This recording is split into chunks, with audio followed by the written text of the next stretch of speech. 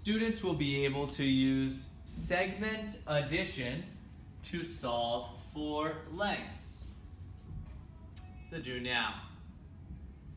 Determine the length of segment CD. So we see AB is 15, BC is 20. This entire amount is 54.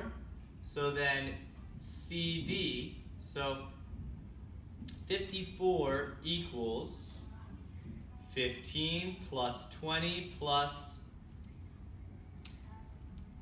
segment CD.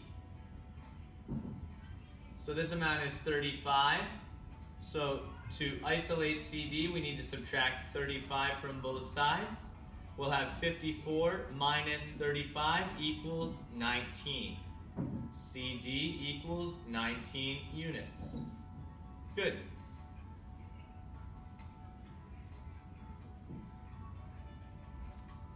On the next one, determine the length of segment HI and segment GJ. So HI, GH.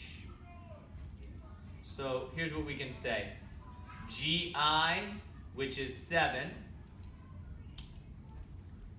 7 equals 2 plus HI. So that means that segment HI equals 5 units. So now if this is 5, now determine the length of GJ.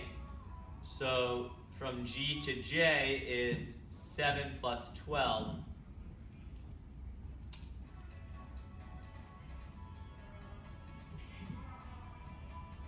Seventeen units.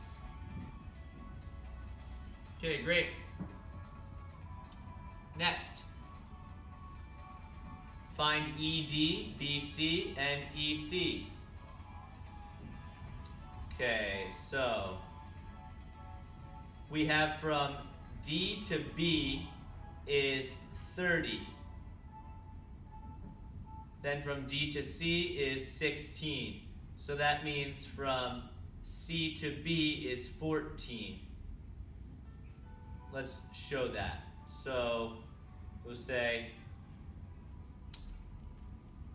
30 equals 16 plus BC. So that means BC equals 14 units. Now we can put that in there. Now we can find ED because um, ED plus so we have ED here and we have the rest of it, which is 30. So Thirty plus ED equals the entire thing, 49. So now subtract 30 from both sides and say 49 minus 30 is 19. ED equal 19 units. And now it asks us to find EC. EC equal 19 plus 16, which is um, 35 units. And finally, a quadratic. Yes, excellent. So x squared minus 4x minus 32 equals 0. The quadratic is already set equal to 0. So AC equal 1 times negative 32 equal negative 32. B equal negative 4. So we're looking for two numbers that will add to equal negative 4 and multiply to equal negative 32. So we're looking at 8 and 4, which one should be negative? 8 should be negative so that when they add it equals negative 4. So that means we're saying that x squared minus 8x plus 4x. That's breaking this up into minus 8x plus 4x. Minus 32 equals 0. So we cover the right side, and on the left side, we see that we can factor out 1x. We have x times something. x times something is x squared, that's x. x times something is minus 8x, that's minus 8.